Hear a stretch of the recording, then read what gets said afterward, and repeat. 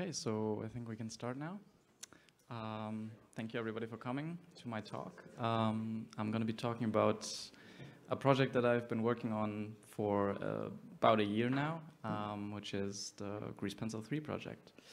Um, I think we're going to have some time at the end, so if, if you have some questions uh, that come up throughout the talk, then wait till the end and I can may maybe answer them. Um, all right, so um, going back one year to the BCON 2022, um, there was a meeting about uh, Grease Pencil and the future of Grease Pencil, um, and we were just uh, like setting up the bi-weekly meetings, which we're still doing today. And this was, I think, sort of for me personally, where the idea that um, I could be working on this like would solidify itself. So this was sort of for me the, the beginning of Grease Pencil 3 um, back then. Of course, I was still working at uh, SPA. Uh, so um, at SPA, we were really trying to, to push things, to use Grease Pencil in the pipeline for layout, for storyboarding, uh, and even for animation. Um, and we tried, but we struggled. Uh, and, and, we had to modify Blender um, to, to actually get something that uh, the animators were satisfied uh, with. Um, and, and we presented that at talk last year uh, at the conference with Jan. And uh, yeah, so if, you, if you've seen that talk, it was like, you know, we had these slides with like complicated stuff going on and this and it was basically this, right? It was uh, like uh, waving our hands uh, and and and you know talking about the struggles um, of trying to make things work. Um, and so I think this brings me to the the why. Why would we need a new grease pencil? Um, and it's it's it's really about um, some uh, like bigger things like uh, there, there's some major performance issues when you try to scale things up to a production scale, you, you run into performance issues, uh, memory issues, etc. And so that was the, the first motivator to say, okay, let's, let's start something new. Um, and Grease Pencil sort of lives a bit in its own world inside of Blender. uh, it has its own modifier stack, it has its own materials, it has its own render engine. I mean, it's, it's really in, in many cases separate from the rest of Blender. So trying to integrate it more as like, you know, uh, into the whole system of, uh, of Blender is another motivator. And then, well, I mean, you know, development for Grease Pencil started like 15 years ago in like 2008. Um, back then, of course, it was still the annotation tool, but um, throughout the years, you know, we, we, sort of accumulated hacks upon hacks. and, uh, and so the, the technical debt just kept increasing. So to summarize, we wanted a new foundation for the future of Grease Pencil and to really, yeah, um, make it production, you know, at, at production scale um, usable. Um, at the end of 2022, I came up with a proposal on how to do that. Uh, the, details don't really matter, but uh, I, I, I, sort of uh, sketched up something and, and, and proposed some ideas to the developers on how we could do it. Um, and then 2023 started. Um, SPA was sort of a thing of the past then, unfortunately, and we um, began finalizing the, the, the, proposal. So then I, I, was working for Blender. I, um, I came for one week for a sort of mini workshop and um, we had uh, multiple meetings on, on trying to figure out, okay, what are sort of the limitations that we see with the design and iterating on it and, and solving all the issues um, that we could foresee. And so we came up with a proposal with, with all the admins that everybody was happy with. Um, and that's when the project started. Um, so March 2023, and, and we published a blog post about announcing it that uh, this was going to be something, of course, we... Um, it, wasn't going to come to um, 4.0. That's uh, well, that, that's how things go. Um, so yeah, let's let's talk talk about Grease Pencil 3. Um, so uh, this is a technical talk, so I will talk about some technical things, um, starting with with the core data structure and, and how it changed from Grease Pencil 2 to Grease Pencil 3. Um, I want to talk a bit about attributes and implicit sharing. I know that was already a topic in a talk yesterday here, but um, I'm going to look at it from sort of the grease pencil side of things. Um, I want to talk about a drawing tool, which I guess is now sort of a tradition since I talked about it already in the past uh, talks.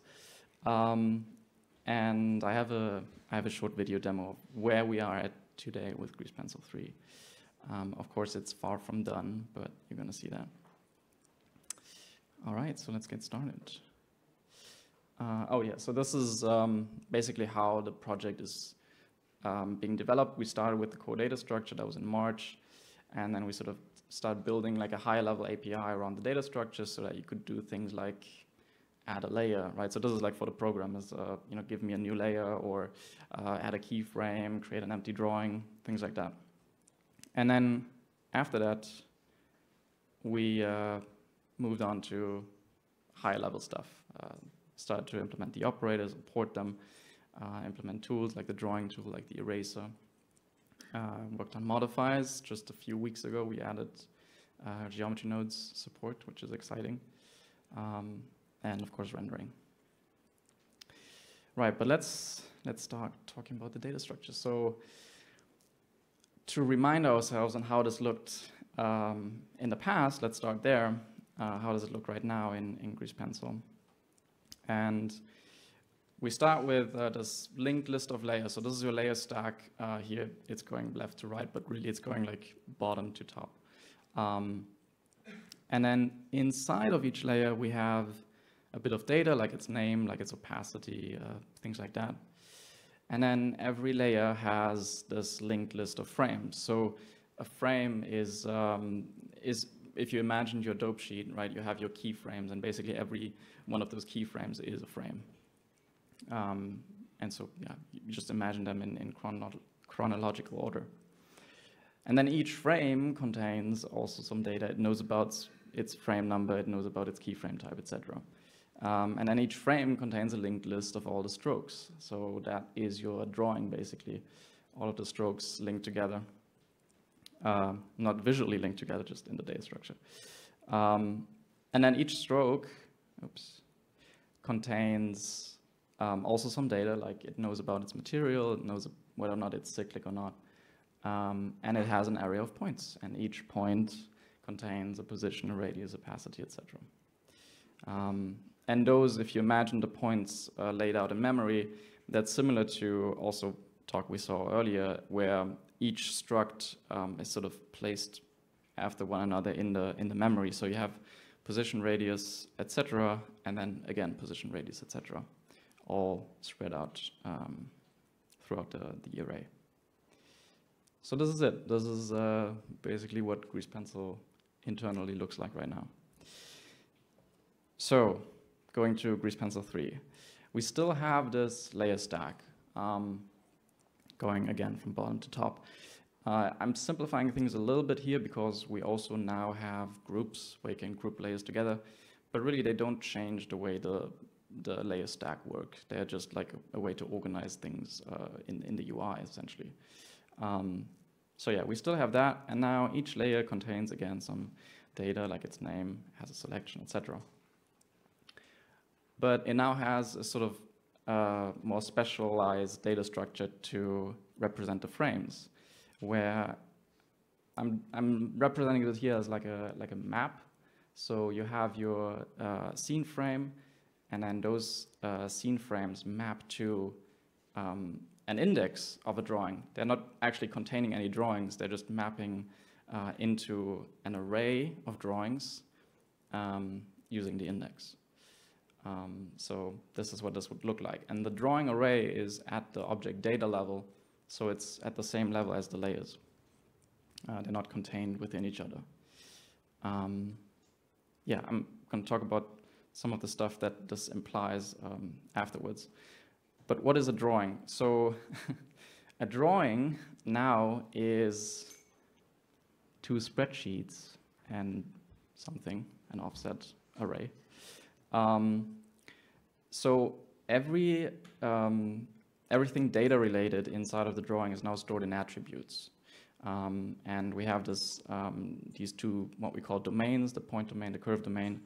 And you can imagine a spreadsheet literally for each of them, where every row is one of the elements. So every uh, row in the points domain is a point.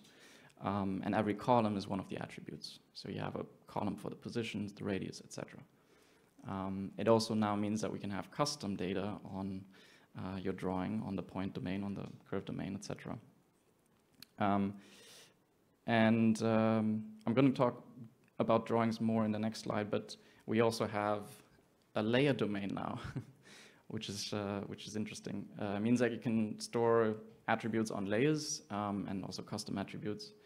Um, here I'm just having an example with the opacity and maybe a tint, or you know, you could imagine plenty of things.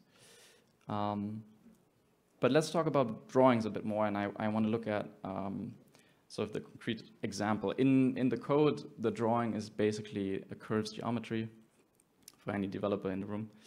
Um, so this is the same data structure that's actually used for hair curves now, uh, the, the, sort of new uh, data structure to represent curves. So let's look at an exa uh, example. Um, this is a beautiful drawing um, with just two strokes uh, and a couple of points. Um, and this is what the actual sort of spreadsheet of that uh, would look like. So we have eight points in total, right, zero to seven, um, with a bunch of positions. I didn't put the positions, but you could imagine there were, you know, positions there. Um, and then the radii. So uh, if you look, we have um, the first point here I guess the second point, uh, is a bit, you know, it's a bit larger, so it has a radius of 1.5, and this one is even bigger, it has a radius of 2.5, just to illustrate like how these rows and columns correlate to what you see on screen.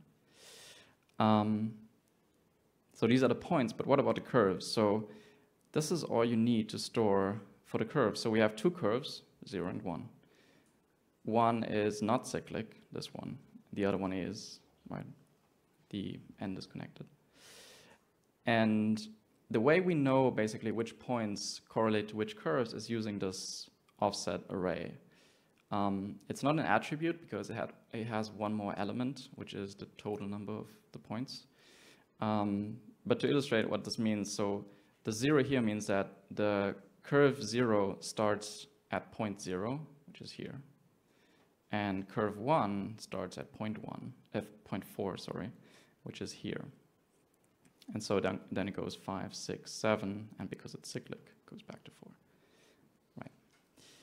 Um, now, if we were to change, let's say, the offset four to three, then this is the drawing we'll get. Right. So now the first curve, second curve starts at three and goes four, five, six, seven, and because it's cyclic, back to three. Right. Um, so I hope that illustrates well how a drawing is structured. Um, going back to this, so um, one more thing about the, these, these mappings.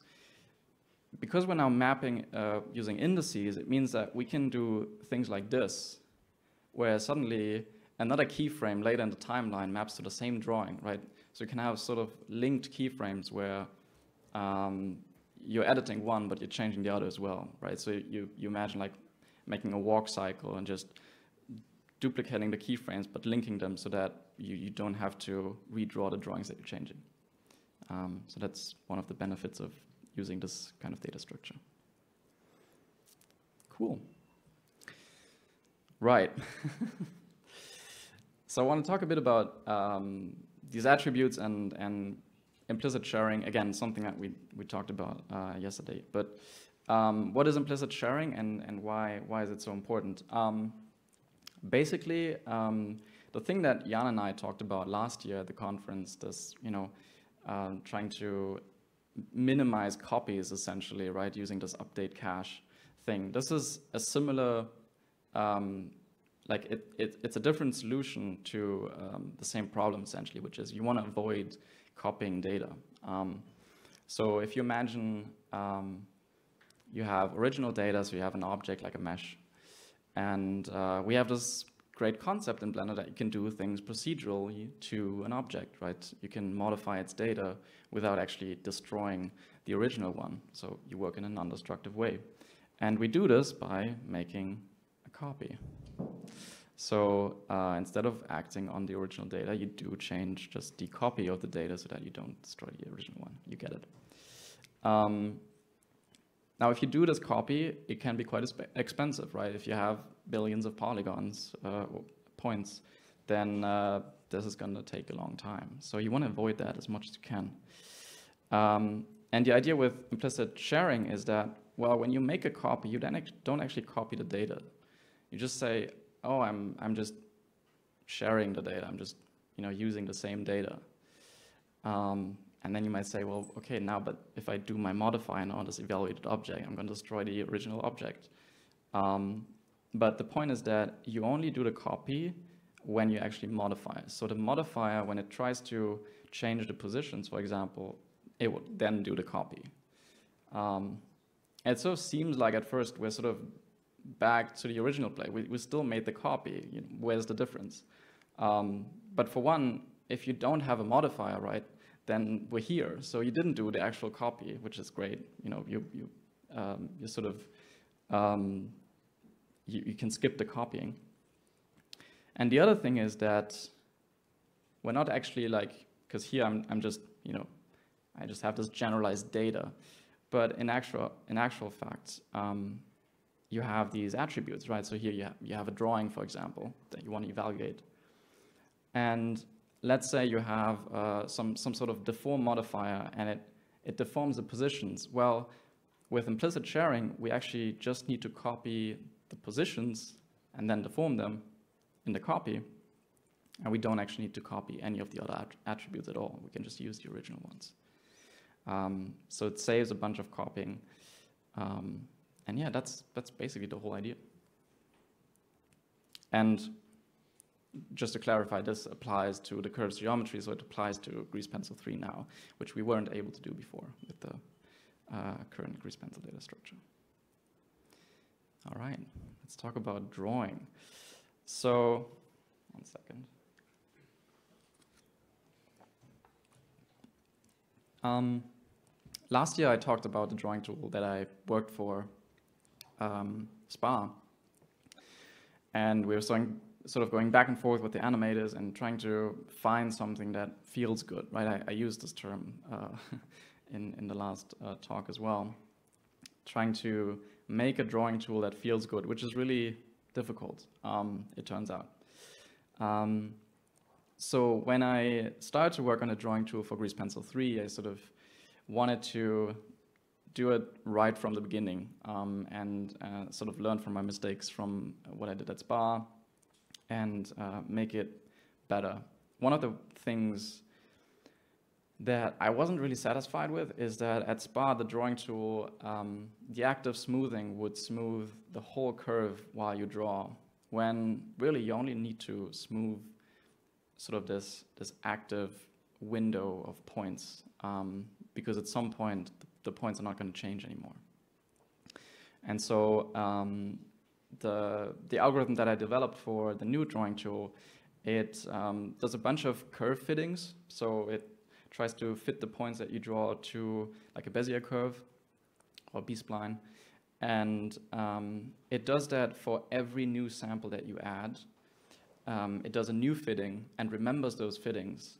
And it then lets the points basically converge. And once they converge below a certain threshold, like let's say 0.1 of a pixel, uh, we then drop them out of this smoothing window. So then you get sort of this effect where here the dotted line is like the, the active smoothing window, but as the points converge, they are no longer affected by the smoothing. Um, and I have a video here demonstrating this. So um, what you're going to see is me just doing a bunch of scribbles. Um, and I'm going to visualize the active smoothing window using uh, vertex colors. So it's going to be in red. And um, it's very subtle. Like it's, it's hard to convey this via video. Um, it's really something that you feel. But you see the, the red window there. It's sort of moving along as you draw. I hope you can see this on the video. um, but yeah, so it's, it's not a fixed length. Uh, again, it's using the convergence of points um, as you draw. And the, the reason why you want to do this is that you want to basically minimize the amount of like jumpiness. So, so one way of doing smoothing, right, is, is you draw the whole thing and then you let go and then you smooth the whole thing. But it's sort of disturbing to the artist to see their, their curve being like smooth afterwards. So you want to do it while drawing, but then you also want to do it in a way that it, like it doesn't feel like the, the, the stroke is changing too much. So this is sort of the probably the, the right approach to this. I mean, many other um, programs also do it this way. But yeah, this is the, the state of the drawing tool. I just wanted to uh, talk a bit about the active smoothing there. All right. Um, no, no, yes. um, I have a video demo for the state of Grease Pencil 3. I tried to basically summarize some of the new things that we can do, some of the things that were already possible with Grease Pencil before um, in one example. Um, I, I, hope I did a good job, but um, you'll, you'll see. Um, so I'm actually going to pause to make sure that this is, yes. Okay, so people might recognize this scene. um, and I thought it would be fun to um, put something on the blackboard uh, and, and actually animate something on it. Um, so I have my, my sort of bouncy ball animation here, um, one that I did. Um, it's not the best, but hey. Um, and uh, so this is using Grease Pencil. But as you can see, there's sort of this shade on top of it, which is not something that you could do. Um, and we're actually, actually going to mesh grease pencil using geometry nodes. But here you can see it's, it's you know, your classic animation. You have your dope sheet, you have your keyframes. You're doing your animation um, on, on this blackboard. Um, and here I'm having, I have two geometry nodes modifiers, just one to change the thickness so it's a bit easier to see what's going on. Um, and yeah, you can actually live draw with these modifiers, something that isn't really possible right now with, with other tools. Um, so it, it meshes um, the, the curves as you draw. You can see the wireframe of the mesh. And this is it uh, rendered with Eevee. Um, see, I'm just showing off uh, how, how the drawing works with um, sort of seeing the modifiers live.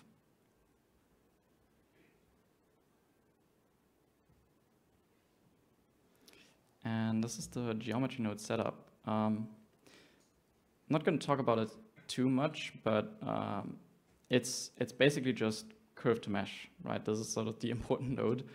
Um, and I'm just capturing a bunch of attributes before and storing them after so I can use them in a shader, sort of a classic thing you do. Um, in this case, I'm building my own UVs, um, so I can use them uh, later on. I think I'm going to show the shader here in just a second as well. Um, but yeah, it's a fairly simple setup. There's a delete geometry because I'm actually using a curved circle for the profile and deleting the back faces. But again, uh, it's not really important.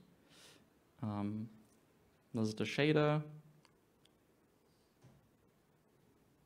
I mean, it's, you know, it's just a simple chalk shade. It sort of looks like chalk maybe.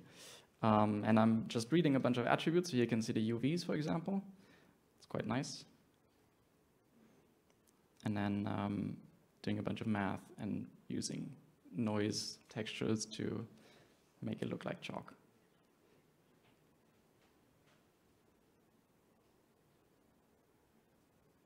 So this is the output of the noise textures, and then just using a transparent shader and diffuse shader mixed together. Right. Um, oh, no. Ah. That was not what I wanted to do.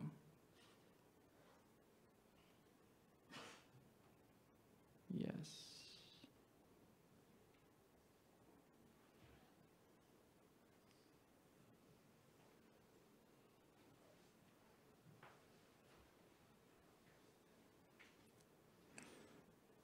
And then another cool thing I'm showing here is the eraser. So the eraser changed a bit. Um, we didn't just port it. Uh, this is not something that I worked on. This is something that Amelie worked on.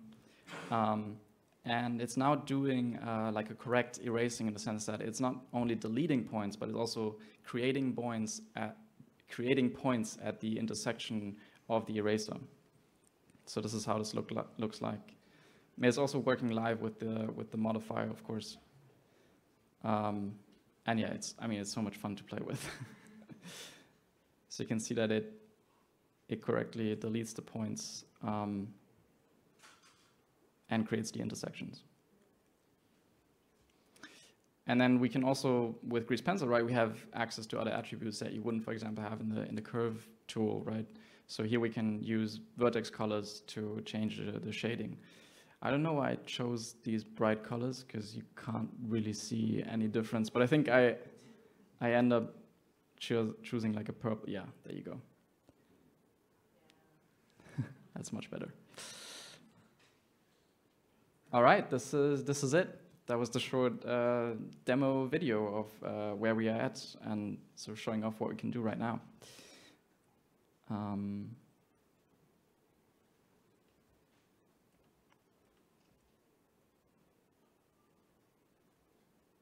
All right. So I want to take a, a, quick moment to talk about the contributors because there's not only me working on this, but also other people. And look at a few numbers. So here are the like total commits and commits per author. Um, yeah. Guess whose full-time job this is.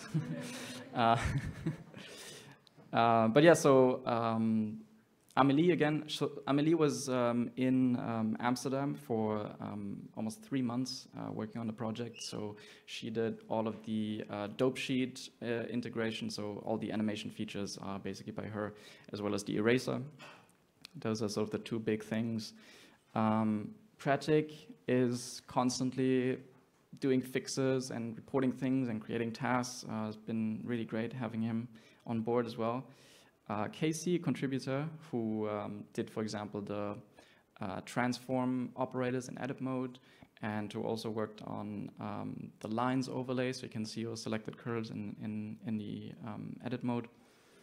Um, and so many more, like uh, Sietse, who's also here today, working on stuff. Um, Antonio's been contributing. Um, yeah, thank you to all of you.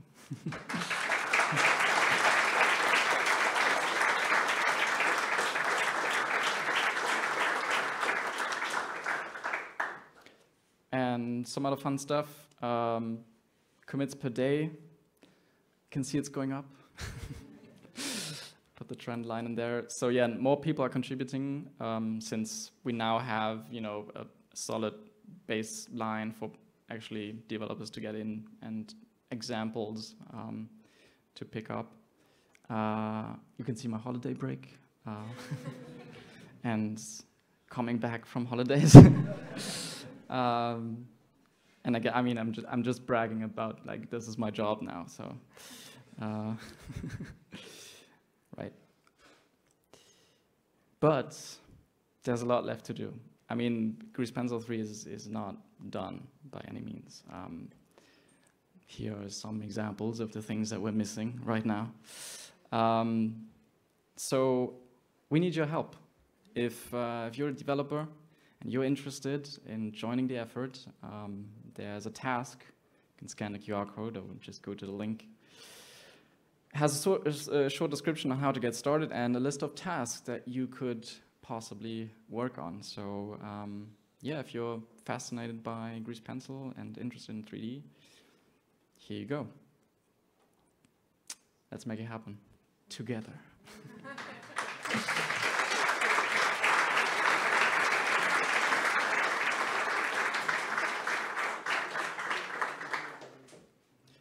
All right, so we do have time. We have like 20 minutes left. So um, if anybody has any questions about Grease Pencil 3, yes.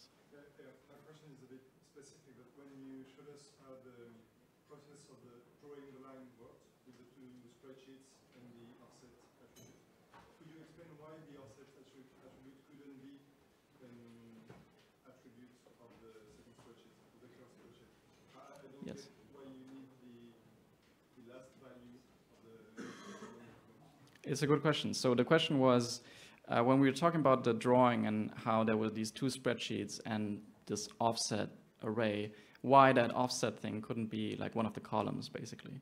Um, and the reason is that we need this last element because it indicates how long the last curve is, right? So if you imagine there was the 4, um, 0, 4, and 8, this 8 basically indicates the end of the last curve. Um, so it's, it's a way of, um, instead of saying where something starts and then storing a size, we just store every start of the curve. Um, but this means that we have to have this one more element um, to make that work. So it's, it's not an, an attribute, it's its own array. Yes?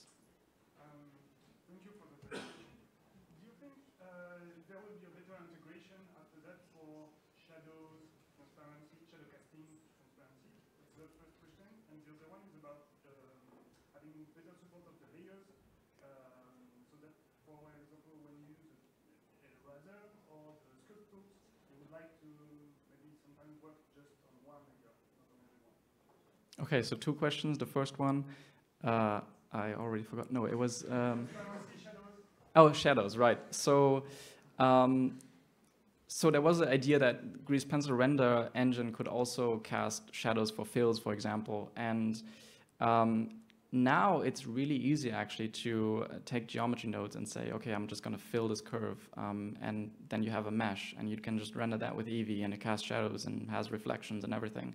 So I think the way forward is not to add too many features to the Grease Pencil rendering, but utilize the engine that we already have, which is Eevee.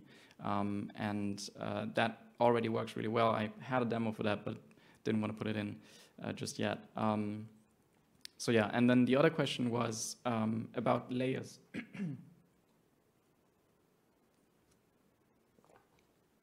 the other question was about, sorry, uh, layers and um, what was the specific is right. You only want to want want on to work on one layer. So um, we we can have you know options like soloing a layer uh, etc and actually the data structure now is is much like it's much easier to add that functionality to say okay I want to I, I only want to work on like um, you know, a soloed layer, uh, etc. So the API that um, is now in place for Grease Pencil 3 is, is much easier to um, sort of add this sort of functionality. And I think we're going to have that, yes. Yes, Howard. Um, so you mentioned one of the motivations for this was performance. Interested to know if you have any performance numbers already. I'm also interested to know how you're approaching using parallelization and streaming instructions. Are you just Right, so the question uh, was about performance. So what are the performances like now? And also, um, you know, what are the, the methods that we can utilize now, like multi-threading, um, parallelization, etc. Um, so I, I, do have numbers. In fact, the before we actually started implementing Grease Pencil, I uh, wrote a whole test of uh, comparing performances to make sure that we actually gain performance using this new method. Um, and yes, we did. So um, I, I, had some examples where things were like two, three, five times faster. Um, I think for me, the more important thing is that we are using a lot less memory. So files that, like test files that I had, go from 300 megabytes down to like, you know, 16. So crazy numbers um, when, when you think about them. And of course, that also means that the performance is much better, right? We, when we do a copy, we copy less data, etc. Um, and in terms of the, the methods that we utilize, so we're basically relying on the fact that now the whole code base is shared, right? So when there's an improvement, like at the lower level for hair curves, it applies to Grease Pencil. right? We, we don't have separate worlds anymore. We're, we're relying on the fact that these uh, data structures are similar and we can utilize um, um, sort of the benefit of sharing code, uh, the code there. And I don't think I've, um, I've I haven't looked at performance much yet. Um, it's not sort of the, um, the first priority to get things uh, you know, as optimized as we can. Uh, now we're just, you know, making sure that we have feature parity with Grease Pencil 2. um, and so there haven't been much uh, performance optimizations yet. Um, we're going to look at that. Yes. It's just using the standard curve system. Does that mean that you can use uh, Grease pencil tools with your grooming setup, like convert hair curves into grease pencils and grease pencil rendering on hair and then erasing, things like that? Right. So the question was, um, since the data structures are the same, you know, can you like groom grease pencil now with the hair curve tools? Um, and I think the answer is basically, well, you you would use geometry nodes to convert one from the other, for example, and then you have um, you know curves essentially. And um, I think like you know sharing modes is a bit more difficult than sharing uh, the tools, but we're going in that direction with node tools. So um, I think the, the goal will be that um, some of the tools, you know, some, some grooming tools might be specialized for grooming. They might not necessarily apply, like a spheres fall off for sculpting and grease pencil is less relevant, re relevant than uh, in grooming. Um, but you can totally imagine that those, you know, that, that code would be shared for both because indeed they do use the same structure underneath.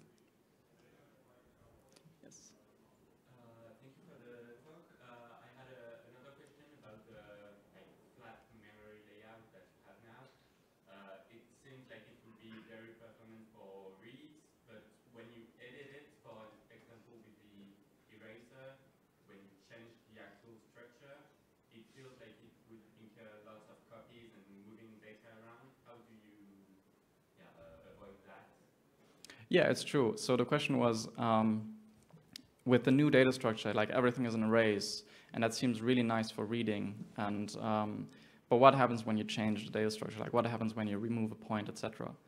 And um, indeed, it means that you need to do copies. But for example, for the eraser, what we do is we essentially rebuild the whole drawing um, from scratch. Um, so you, like we, we do need to do lots of copies, but um, in the end, those copies are a lot cheaper um, because the data structure is just optimized for copying, right? You, you, just take a whole chunk of memory and move it from there to there. So, um, and the, the other thing that we can do is um, we, we can now work in parallel. If you have like a whole um, array of points, you can say, oh, okay, I'm, I'm going to allocate this chunk to one thread, this chunk to another thread, this chunk to another, etc. So we can do a whole bunch of work in parallel, and in the end, we just gain a lot of performance using that, doing that. Yes.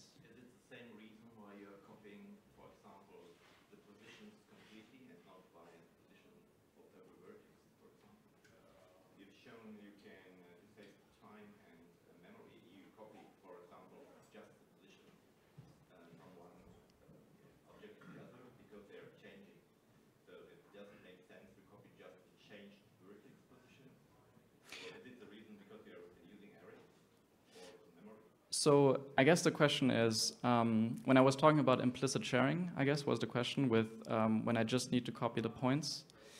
Um, right, so with implicit sharing, implicit sharing is really only possible when your data is in one place, right? Before, because data was spread out throughout memory, it's not possible to implicitly share that because you have multiple pointers instead of just one to one chunk of memory. So really implicit sharing only becomes possible when you have the like let's say the whole position is packed into one array. Yeah. Yep. When um, you use the on surface tool, like the drawing mode, say you draw a straight line on a bouncy ball, is there any plans to have sort of with modifiers or anything improve the like shrink wrapping or increasing, decreasing points when the line say follows a bouncy ball as it swashes straight? Okay, so I guess the question is about um, drawing on surfaces and, and sort of resampling to move along the surface. Yeah, um, for, for now in the Grease Pencil 3 tool right now, you can't draw on surfaces, so it's not implemented yet. And uh, it's going to be something that um, we're going to look at um, in the future. And yep. So um, it's going to be implemented. We just haven't gotten to it yet. There's lots of things that we obviously want to implement, but really the goal of Grease Pencil 3 is to build a foundation that we can actually add new features on top of um, that perform well and that are well integrated with the rest of Blender. A question might be more for Jacques than for you, but I wonder if the implicit sharing uh, is using some of the code from the copy on write we have in that graph. So conceptually, you are also do is basically copy on write maybe for attributes as well. So I wonder from the development side if it's uh, um, So the question was, is the implicit share, uh, sharing code using the same code as the depsgraph? Because the depsgraph has already this concept of copy on write. Um, I guess the copy on write in the depsgraph is sort of a misnomer because it wasn't really doing the same thing. Um, so the implicit sharing is, is new code by Jacques. Um, and it's, it's not using any of the code from the depsgraph. The depsgraph sort of, I guess the copy on write from depsgraph was more like the depsgraph was hoping that the data structure itself would do a copy on write uh, more than it was itself implementing copy on write. Yes. I have two questions, and the first one is, uh, and I want to confirm that my understanding is correct, that the minimal uh, unit of a copy in the uh, new Grease Pencil is one column of property inside one frame. Is that correct? And the second question is, uh, I probably missed it, because uh, about talking about layers and stuff. Uh, I want to know that, are there any plans for um, layer groups for the four layer folders and uh, custom mixing with those layer folders? Okay, so the first question uh, was about what is the minimum copy we need to do per frame, I guess, sort of. Um, so, well, we just need to copy a pointer, right? It's it's very easy to now copy, like with implicit sharing. We just when we duplicate the object, we just essentially copy a pointer for every attribute. So I think in Grease Pencil we have a few attributes that are built in, like the position, like the radius but you just need to copy those pointers. So it, you know it's it's negligible the the copy that you need to do there. Um, and the other question was about groups and what are the plans for groups and uh, what can we expect for them, like uh, coloring, etc. So the idea for groups is that you know an animator can just have a bunch of layers, group them together, and know that okay these layers belong together. Um, it's not something that is going to have like custom data. At least that's not planned. Uh, it's not something that um, you you can do much with other than um, you know organizing your layers in a better way um, in this tree-like structure, right? Because groups can contain groups. Um, there's going to be color tags. That's something that is already there in the core structure. It's not exposed to the UI yet, but yeah, you can have like color tags and color them again. So it's it's really easy to uh, see at a glance, you know, what your layer structure is. You talk about um, eraser. Uh, do you have some improvement to erase uh, fill materials? Yes, the age-old question: Can we erase from fills? Um, so the plan is, of course, that we can do that in the future. It was just something that um, we, we could have done that with Grease Pencil too. The problem is that you start to really like stretch the limits of the data structure that you have. Right nowadays, we can represent, for example, holds in a fill much easier than we could have done before. These were sort of limitations that um, we are now with the new foundation um, basically um, allowing. Um, so erasing from fills is a project that is planned, but it's not going to be there for Grease Pencil 3 because the project Grease Pencil 3 is let's get to the feature set of Grease Pencil 2 and make sure that we can do all of that, but much faster and much better. And then let's look at new things like erasing from fills. Uh, with the, you showed the active smoothing, like the red zone. Is that, will that be adjustable, like the amount of red zone you want, or you can randomize it? So any setup you want in terms of how much it smooths for? Yeah, so the question was about active smoothing and how you control, can you control the amount of smoothing? Uh, yes, of course you can. Uh, you can turn it off. Um, there's going to be just one slider, I think, at a higher level that allows you to adjust the amount of smoothing. Um, at a more technical level, what that does is it changes the curve fitting threshold. So if, if people know about curve fitting, what that means is that it basically tries to fit the curve within like a certain boundary of um, like, you know, could imagine a pixel amount. So the slider would basically control how wide or uh, small that, that boundary would be, and it allows you to control the, the active smoothing very precisely. Um, and there's going to be a whole bunch of other options. I think in the current code, the um, algorithm has about uh, 25 parameters that are now hard-coded because that's how you start. Um, but you could imagine that they would be exposed and would allow you to control the drawing in many ways. Um, it might not be like necessary to expose that like in the tool setting, but you know maybe in some setting in Blender or something where you can adjust the drawing feeling basically.